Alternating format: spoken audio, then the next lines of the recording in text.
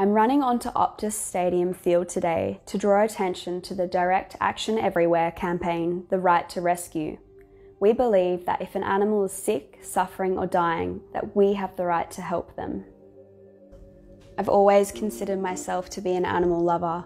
Growing up near the ocean made me passionate about marine life and ocean conservation, but I never considered the animals that are exploited for food, such as cows, pigs, and chickens.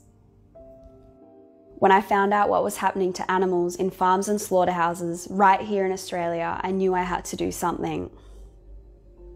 My friends are in court this week, facing decades in jail for trying to expose the suffering of animals in WA farms. Inside of a piggery, they found mother pigs stuck in metal crates, unable to turn around, laying in their own feces. They found garbage bins piled with dead piglets and cut off tails from piglets, this is all standard legal industry practice. My friends rescued a bobby calf named Theodore from a dairy farm here in WA. Theodore was taken to a sanctuary to live out the rest of his life in peace. But when the police found out, they took him back to the farm. Bobby calves like Theodore are often killed at just five days old.